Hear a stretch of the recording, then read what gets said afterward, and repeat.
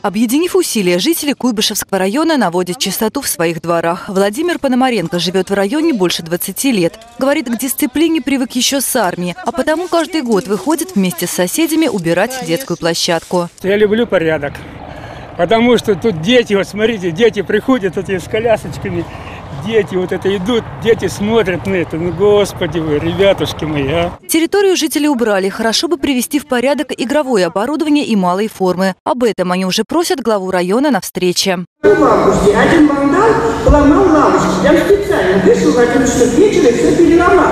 Переломал до такой степени, что одни щепки остались. Мы постараемся по максимуму, опять же повторяю, в рамках тех денег, что у нас есть, постараемся по максимуму отремонтировать малые архитектурные формы, покрасить и привести значит, в порядок. Такие собрания с жителями в Куйбышевском районе – дело привычное. Глава района проводит их регулярно. Мнение жителей выслушивает по каждому вопросу. Сегодня на повестке дня тема благоустройства, наведение чистоты и порядка, участие всего района в предстоящих субботниках.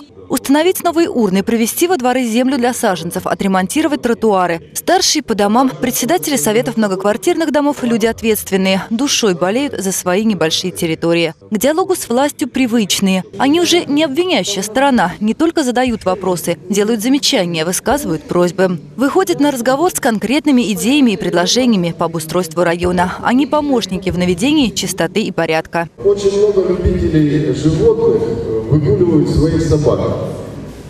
Я думаю, все согласятся, что никто в нашем районе, вот я сколько делаю замечания, сколько наблюдаю, никто не убирает за ними их гадость. Э, Может быть, есть смысл табличек понаставить, э, что должен все-таки хозяин за своих любимцев убирать. Когда собирается большое количество жителей, мы многие вопросы решаем уже на месте. Сразу же даются поручения, и я знаю, что завтра у меня уже несколько сотрудников пойдет отрабатывать те адреса, которые были сегодня нами получены для в работу. Поэтому это действительно очень продуктивно. Все старшие по домам Куйбышевского района как один выразили готовность выйти на субботники вместе с жителями 11 и 18 апреля. Марина Кравцова, Лариса Шалафаст, Павел Пресняков. События.